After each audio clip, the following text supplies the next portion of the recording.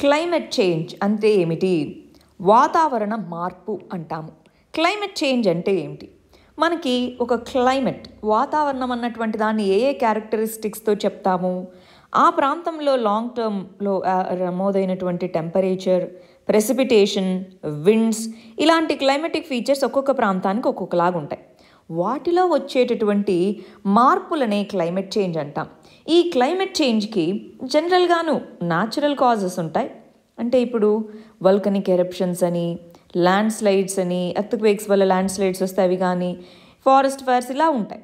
కానీ మనము ఈ పదాన్ని ఎప్పుడైతే క్లైమేట్ చేంజ్ అని వాడుతున్నామో ఇది రీసెంట్గా మనం చాలాసార్లు విని ఉంటాం.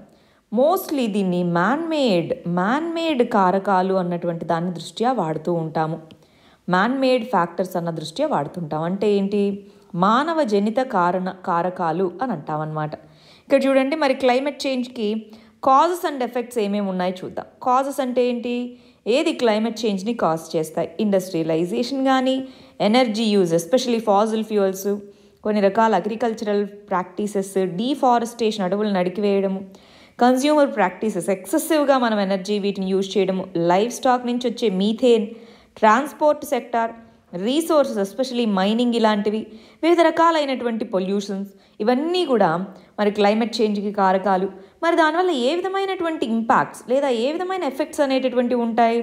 టెంపరేచర్స్ పెరుగుతూ ఉన్నాయి సముద్ర మట్టం పెరుగుతూ ఉంది అన్ప్రెడిక్టబుల్గా వెదర్ ప్యాటర్న్స్ మారుతూ ఉన్నాయి ఎక్స్ట్రీమ్ వెదర్ ఈవెంట్స్ అంటే సడన్ ఫ్లడ్స్ డ్రాట్స్ పెరుగుతూ ఉన్నాయి ల్యాండ్ డిగ్రేడ్ అవుతుంది wildlife and biodiversity loss అనేటటువంటి జరుగుతూ ఉంది. ఇలాంటి కంటెక్స్లో మనం నేషనల్ లెవెల్లోనూ ఇంటర్నేషనల్గాను మెజర్స్ తీసుకోవాలి.